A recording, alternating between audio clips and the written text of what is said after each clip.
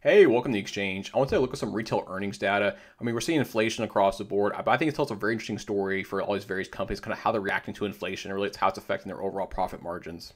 So what I pulled up here, this is uh, basically earnings data from five major retailers plus Home Depot and Lowe's. So Walmart, Target, Ross, Under Armour, TJX is like TJ Maxx and Marshalls, plus a couple of brands, a kind of conglomerate they have right there. Um, but we see right here is a actual revenue in billions across all these various retailers for uh, Q1 of this last, basically what they just reported. Revenue expectations from Wall Street, earnings per share expectations, as well as earnings per share actual, like what it actually came in at. Now, what I did down here is basically revenue surprise in percentage terms. Red being it's below expectations, green means it's above. Um, earnings per share surprise, same thing. Red is bad, green is good. Also, I did guidance, uh, basically whether they guided down yes or guided down no. So look at actual revenue surprise here. I mean, they're all very, very similar. I mean, everyone basically missed a little bit by, you know, two, three, four percent. Target was an exception right there. I mean, you see them are positive green 3%, so they actually were positive. I mean, uh, Home Depot missed by 3%. Lowe's came in basically right in line with revenue expectations. But then look at earnings earnings uh, earnings per share surprise down here.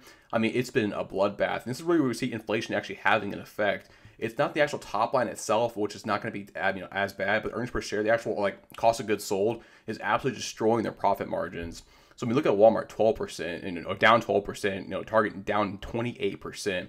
Ross wasn't as bad. Uh, Under Armour, it looks really bad here, but again, look at here. I mean, it's a very, very small baseline. That's why it looks so, you know, blown out proportion, for example.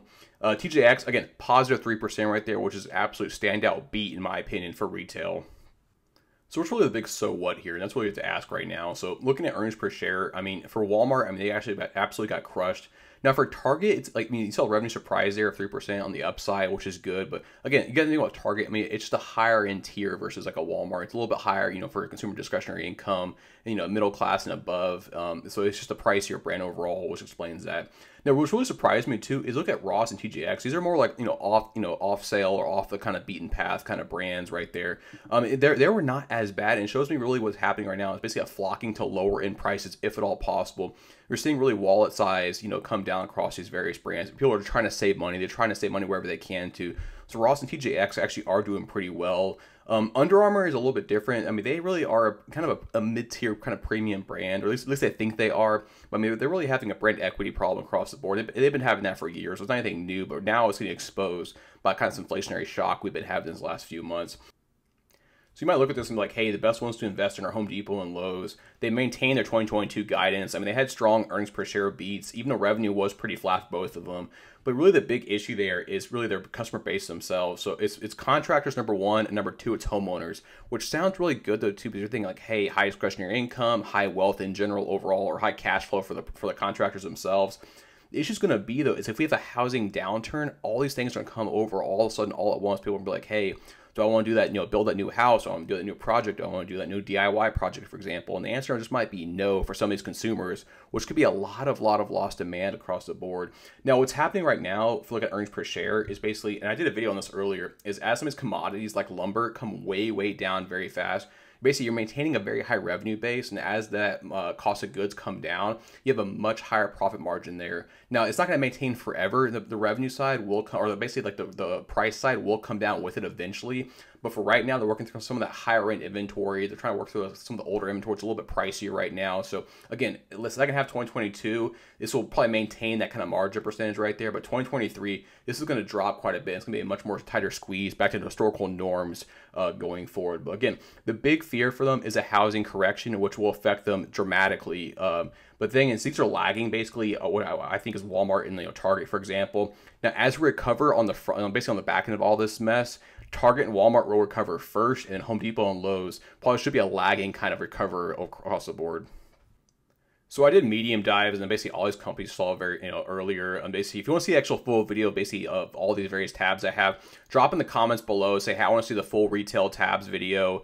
Uh, but I want to show you this real fast from Target. I was looking at actual uh, traffic increase of 3.9%. This is like actual bodies in store. You know, it basically increased 3.9%. But then look at actual same store comp sales it'll increase to 3.4%. So what it's showing me is as prices increase dramatically, I mean, I would assume if basically retail kept up with the actual price increases for like demand side, it increased in the same ballpark as inflation somewhere in that area, but it's not right now.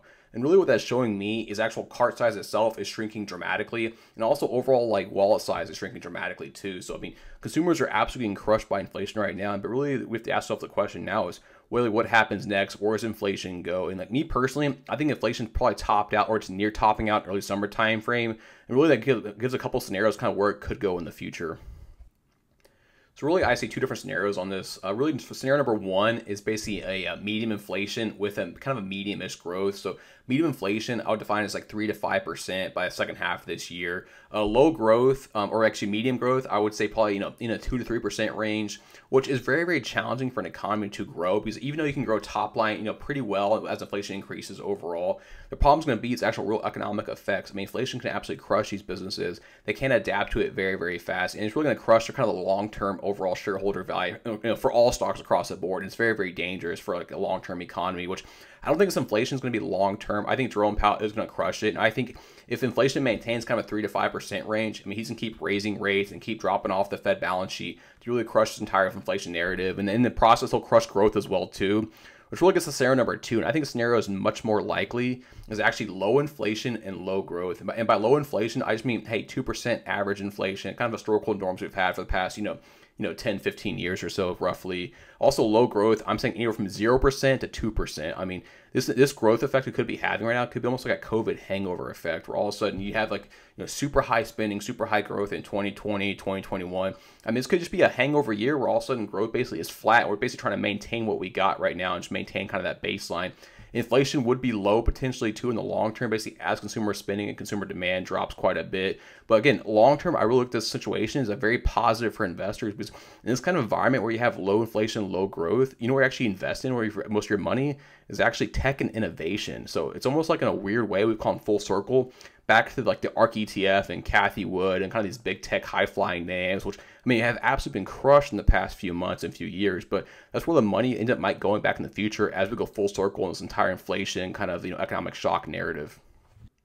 Hey, be sure to like the video. Also, drop a comment down below if you're investing in these companies, whether in the bull side or the bear side overall. Also, like what your thoughts are on inflation in general right now too. Um, be sure to sub the channel down there for content just like this across various companies, you know, stocks, markets, etc.